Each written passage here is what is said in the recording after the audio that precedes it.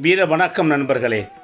சிவகங்கை வீரமங்கை பேரரசி ராணி வேலு நாச்சியார் அவர்களின் இரநூத்தி இருபத்தி நாலாவது நினைவு நாள் இன்று அவருடைய குருபூஜை ஆங்கிலேயருக்கு எதிராக ஆயிரத்தி எண்ணூற்றி இருபத்தி நாலில் போரிட்ட கிட்டூராணி சன்னம்மாவிற்கு நாற்பத்தி நாலு ஆண்டுகளுக்கு முன்பாகவே ஆயிரத்தி எண்ணூற்றி ஐம்பத்தி ஏழில் போரிட்ட சான்சிராணி லட்சுமிபாய்க்கு எழுபத்தி ஏழு ஆண்டுகளுக்கு முன்பாகவே ஆயிரத்தி இரநூத்தி எண்பதாம் ஆண்டில் ஆங்கிலேயருக்கு எதிராக போரிட்டு சிவகங்கை சீமையை மீட்ட வெற்றி பெற்ற வீரமங்கை ராணி வேலுநாச்சியார் அவர்களை இந்தியாவின் ஜோன் ஆஃப் பார்க் என்று அழைக்கப்படுகிறார்.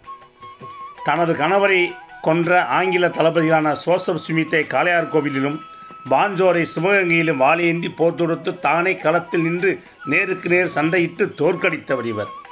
வேலுநாச்சியார் மற்ற மகாராணிகள் போல அல்லாமல் தெலுங்கு மலையாளம் கன்னடம் உருது ஆங்கிலம் ஆகிய மொழிகளோடு பிரெஞ்சு மொழியிலும் தேர்ச்சி பெற்றிருந்தார்.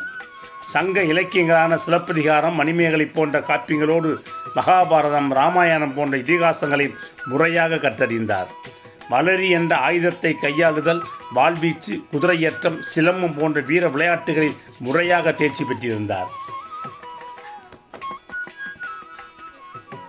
அரண்மனையின் அந்தபுரத்தில் ஐனசயன வசந்த மண்டபத்தில் உப்பரிகையில் உல்லாசமாய் பொழுதுபோக்க வேண்டிய ஒரு அரசியலங்குமரிக்கு ஆறு மொழிகள் கற்க வேண்டிய ஆர்வம் எப்படி வந்தது?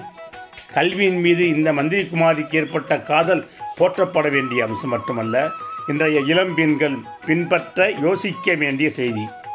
ராமநாதபுரம் மன்னர் செல்லமுத்து சேதுபதி அவர்களுக்கு சிவகங்கை அருகில் உள்ள சக்கந்தி என்னும் ஊரைச் சேர்ந்த முத்தத்தா நாச்சியார் என்பவரை திருமணம் செய்து கொண்டார்.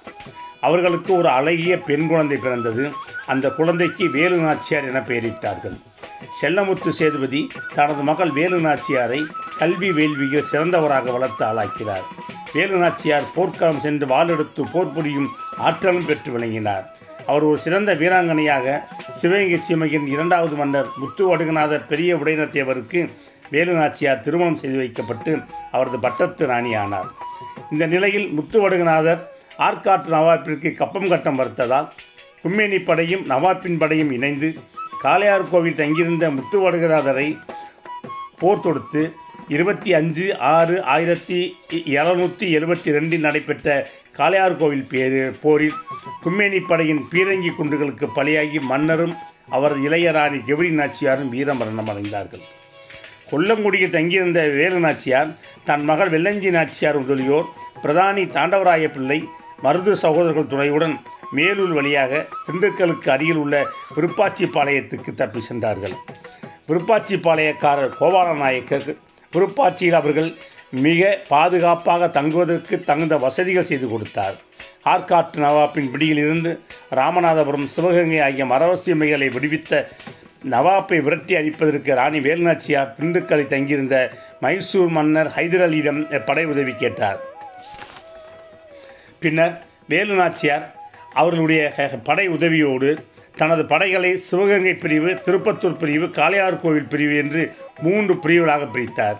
பொறுப்பாட்சியிலிருந்து எட்டு ஆண்டுகள் கழித்து சிவகங்கையை மீட்பதற்கான தன்னுடைய தன்னுடைய படையை மூன்று பிரிவாக பிரித்தார்.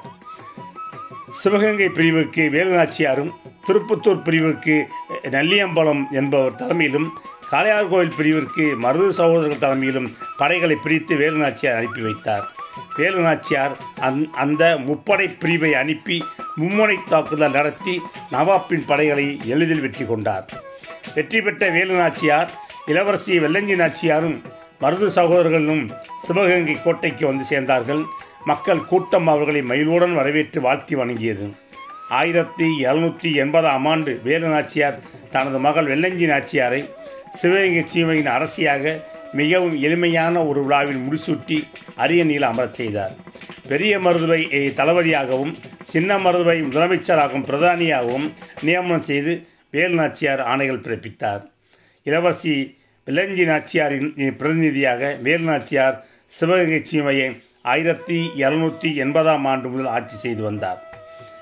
ஆயிரத்தி எழுநூற்றி தொண்ணூற்றி ஆறு பதினாறு ஆண்டுகளுக்கு பிறகு டிசம்பர் மாதம் இருபத்தி ஐந்தாம் தேதி மரணமடையும் இந்த அதிசய பெண்ணரசியின் உடல் சிவகங்கையில் அரசு மரியாதையுடன் நல்லடக்கம் செய்யப்பட்டிருக்கிறது.